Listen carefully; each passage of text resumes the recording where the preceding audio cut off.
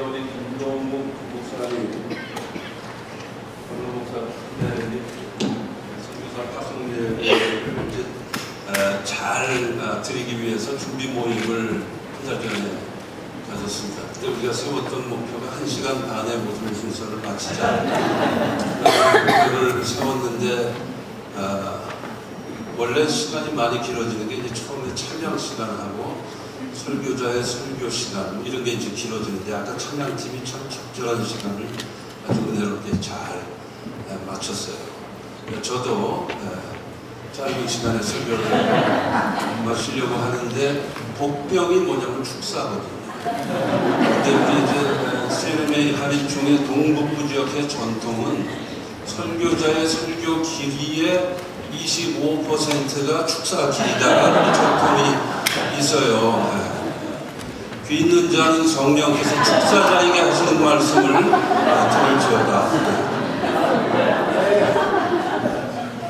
자, 먼저 25년의 성역을 잘 마치시고 아, 참 기쁨과 감사의 은퇴 그리고 원론 선추대 그리고 선교사 파송에 임하시게 되는 김동훈 목사님 네 분께 아, 예, 앞에 계시군요.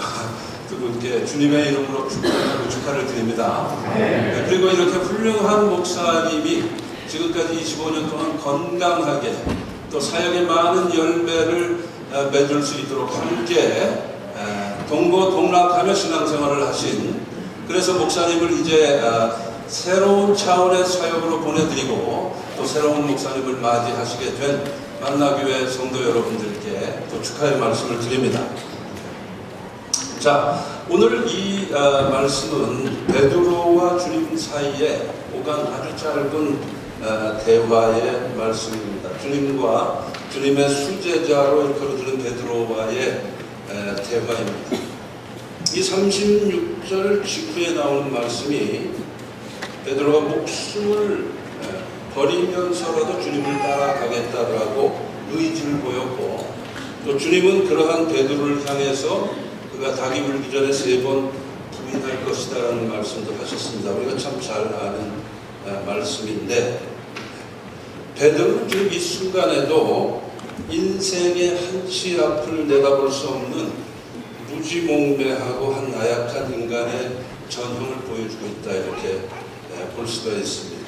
즉 목숨을 걸고 주님을 따라가겠다라고 하는 결연한 의지를 보였지만 바로 그리고 나서 얼마 후에 주님을 닭이 울기 전에 세 번 부인한 그런 일이 있었습니다. 그러한 베드로를 예상하시면서 어머니 들여다보시면서 주님은 이렇게 대답을 하셨습니다. 내가 가는 곳에 네가 지금은 따라올 수 없으나 후에는 따라오리라. 이런 참 아, 예언적 말씀을 하십니다. 오늘 바로 이 말씀을 중심으로 해서 오늘 우리는 김동욱 목사님의 원로목사 주대 및 선교사 파송 예배에 임하고자 합니다. 자, 먼저 베드로의 질문을 우리가 다시 한번 보면은 주여 어디로 가시나이까? 라는 어, 질문인데 베드로는 지금 현재 상황 속에서 아주 혼란스러운 상황 가운데서 질문을 주님께 에, 드리고 있습니다. 왜냐하면 에, 주님이 진짜로 어느 길로 가시는지를 몰라서 때문이에요. 즉 아직까지는 바로 이 시점에서 베드로는 십자가의 길이 어떤 길인지를 이해를 하고 있지 못합니다. 그래서 이 질문을 하게 되는 것입니다. 주여 어디로 가시나이까? 영어로 보면은 Lord, where do you go? 이렇게 되어 있고요. 헬라어 원어로 보면은 Κύριε Κύριε 하면 이제 Κύριος가 주님이라는 부를 때는 Κύριε라고 바뀌게 돼요. Κύριε ποῦ ὑπάγεις 이렇게 되어 있습니다. 그런데 여러분 헬라어보다도 아마 라틴어로 이 말씀을 더 잘하실 거예요. 혹시 아시는 분 계시나요? 어디로 가시나요보다 라틴어로 뭔가요? 네, 후어바디스. 야, 만나면 수준이 굉장히 높습니다. 네, 그런데 네, 주여는 라틴어로 혹시 뭔지 아세요? 주여. 네, 조금 있다가 더 어려운 질문도 나올 거예요. 역사 막으시면 곤란하죠. 네. 주여. 주여는 뭐예요? 주님은 Dominus예요. 라틴어로 Dominus. 근데 아까 Κύριος가 Κύριε로 바뀌었죠. 그러면 Dominus는 뭘로 바뀔까요? 헬라하고 비슷해요. 이 어미 변화가 Domine. 그러니까 주여 어디로 가시나이까는 라틴어로 뭡니까? Domine quo vadis죠.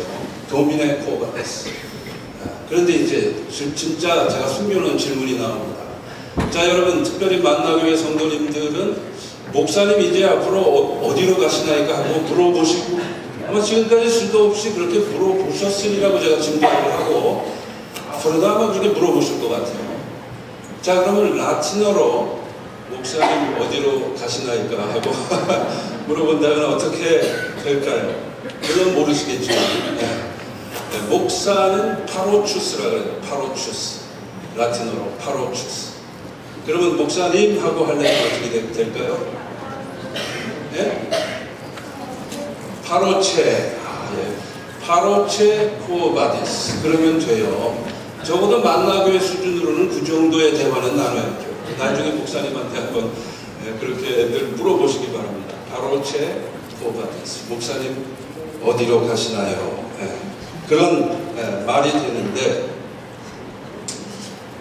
자 어, 왜 제가 어, 그 여러분에게 이 말을 따라 하시라고 하느냐 한번 따라해 볼까요? 네. paroche quo vadis paroche quo vadis 왜 그러느냐 하면 마치 주님이 가시는 길을 이 시점에서 베드로가 잘 몰랐습니다. 그런데 나중에 알게 되고 알 뿐만 아니라 아주 잘 알게 되고 베드로가 그 길을 나중에 걸어보게 돼요. 지금 이 시점에서는 상상도 못하지만 마찬가지로 지금 김동욱 목사님의 사역자로서의 이후의 길에 대해서 여러분들은 아마 아직 잘 파악이 잘 안 되실 것 같아서 제가 이 말씀을 드리는 것입니다. 하지만 나중에는 여러분들도 다 아셔야 되겠고 김 목사님 네 분의 길을 여러분도 함께 걸어가셔야만 할 것이기 때문입니다. 아멘인가요? 네. 자 오늘 본문의 장면이 중요한 것은 주님과 베드로의 관계가 이때를 기점으로 해서 완전히 바뀌게 되기 때문입니다. 바로 이 짧은 대화 이후에 주님이 가시는 길과 베드로가 가는 길은 달랐습니다. 달라도 완전히 달랐어요. 정반대로 갔다고도 볼 수가 있습니다. 처음에는. 바로 이 대화 후에 주님은 십자가의 길로 가시고 베드로는 도망의 길로 갑니다. 그 후 주님은 부활하시고 베드로는 주님의 부활을 목격합니다. 물론 베드로는 이때에도 아직은 주님의 그 고난의 길을 잘 이해하지 못하고 있었습니다. 또 그 후에 주님은 승천하셔서 성령을 보내주시고 베드로는 성령을 받습니다. 베드로가 성령을 받은 후부터는 주님과 베드로의 관계는 완전히 다른 관계로 바뀌게 됩니다. 본래는 그들은 전도자와 죄인으로 만났습니다. 그리고 메시아와 자연인으로 만났습니다. 그 후 그들의 관계는 스승과 제자, 리더와 팔로워의 관계로 바뀝니다. 또한 그리고 난 후에 주님과 베드로의 관계는 사역자와 조력자의 관계로 바뀌게 됩니다. 만약에 예수 그리스도께서 담임 목사님이었다면 베드로는 수석 부목사쯤 된다 이렇게 볼 수도 있을 거예요. 하지만 베드로의 한계는 거기까지였습니다. 스승이 가는 길을 담임 목회자가 가는 길을 따라가지 못합니다. 목숨 걸고 따라가겠다고 큰 소리 쳤지만 바로 그 직후에 배신하고 도망쳤기 때문에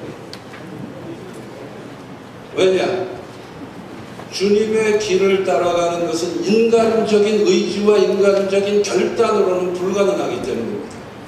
주님의 길을 따라가려면 부활의 확신이 있어야 되고 성령을 받아야만 가능하기 때문입니다. 하지만 주님의 부활을 목격하고 체험함으로 부활에 대한 확신을 가지고 죽음의 공포는 다 떠나보내고 그리고 베드로는 주님이 보내주신 성령을 받게 됩니다.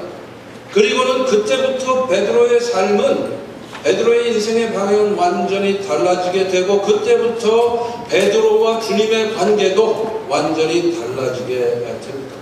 여러분이 잘 아시듯이 에, 확인된 건 아니지만은 전승에 의하면은 이 베드로는 자원에서 십자가를 거꾸로 졌다라는 거 아닙니까? 그리고 그 주님의 길을 끝까지 따라가는 것이죠. 그 후 베드로와 주님의 관계는 그냥 리더와 팔로워의 관계가 아니고 주장과 조력자의 관계가 아니고 동역자요 동반자의 관계로 바뀌게 됩니다. 그것이 바로 주님이 베드로를 향해서 목표했던 것이고 그 주님께서 성령을 통해서 베드로에게 이루신 일이기도 해요. 믿으십니까? 즉 완전히 다른 차원으로의 관계 설정이 된 것입니다. 우리 김동욱 목사님 네 분께서는 약 25년 전에 만나교회를 개척을 하시고 여러분의 담임 목사님으로 지난 세월을 여러분 한 분 한 분과 각 가정과 동고 동락하신 분입니다.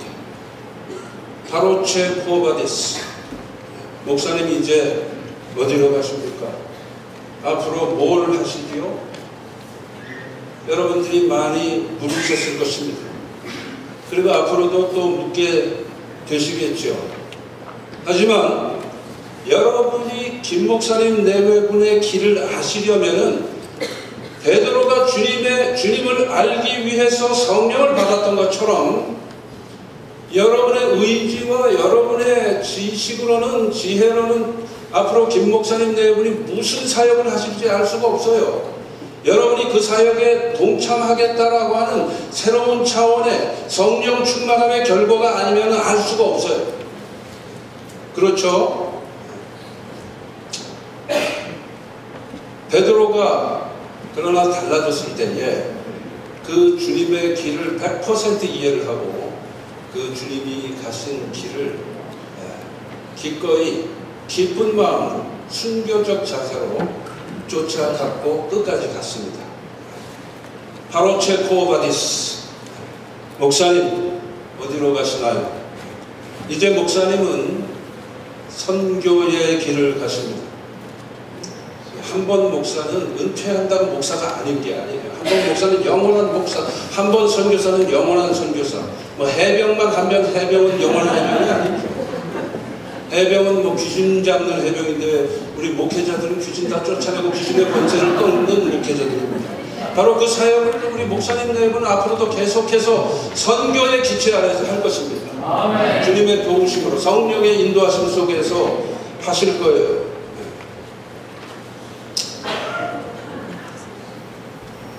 혹시 만약에 혹시 여러분이 지금까지 생각들 하시기를 선교는 선교사님들이 하시고 우리는 선교사님의 선교 사역을 돕는 거다라고 생각을 했고 그리고 지금도 그런 생각을 하고 계신다면은 여러분은 김동욱 목사님 네 분 앞에서 오늘 본문에 주님 앞에서의 베드로가 되는 거예요.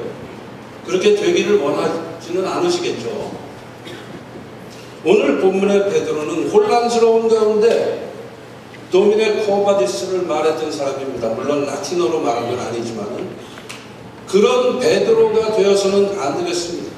주님이 지신 십자가를 기꺼이 지고 주님의 길을 따라갔던 그 베드로의 모습으로 바뀌고 본래의 주님과 베드로의 관계에서 새로운 동역자요 동반자의 관계 설정으로 바뀌어야 되는 거예요. 우리 만나 교회가 믿으십니까? 그러면 그 모습을 보시고 김 목사님 네 분도 기뻐하시고 주님께서도 기뻐하실 것입니다. 즉, 김 목사님의 앞으로의 선교 사역을 돕는 조력자에 머물지 마시기 바랍니다. 여러분이 해야 할 선교, 그 선교는 뭡니까? 제가 얼마 전에 재직회, 재직 수련회 때 와서 강조했던 건데, 선교는 교회의 존재 목적이다. 믿으십니까? 중에 하나가 선교인데 그 선교를 여러분이 해야 될 것인데 여러분이 다 선교지에 나갔을 수가 없으니까 여러분이 나가서 해야 될 그 선교를 존, 교회의 존재 목적을 살리고 여러분의 존재의 이유를 practice하기 위해서 여러분이 선교 사역을 감당해야 되는데 바로 여러분 대신에 여러분을 대표해서 김 목사님 네 분이 앞으로 선교 사역을 하실 거다 이 말이에요. 믿습니까? 그거를 우리, 우리가 안다면 그것을 특별히 만나교회 성도들께서 아신다면은 우리는 김 목사님의 선교 사역을 돕는 조력자다라는 생각을 버리고 우리는 김 목사님과 함께 동역하고 동반자로서의 일을 감당하는 것이다라는 확신으로 임해야 할 줄로 믿습니다. 그것이 바로 주님과의 관계가 완전히 바뀌어서 새로운 관계로 설정된 베드로의 모습이었습니다. 바로 그러한 베드로의 모습이 우리 김 목사님 은퇴하신 우리 김 목사님 네 분, 원로 목사님이 되시는 김 목사님 네 분, 선교사로 파송되시는 김 목사님 네 분을 향한 여러분의 마음이어야 하고 소망이어야 하고 기도 제목이어야 할 것입니다. 그동안 김 목사님과 사모님은 여러분 한 사람 한 사람을 위해서 뼈를 깎는 고통 속에서도 늘 기도해 오신 분들입니다. 물론 그러한 기도는 앞으로도 계속 이어질 것입니다. 두 분의 모든 것을 희생해서 지난 25년을 여러분을 섬기셨습니다.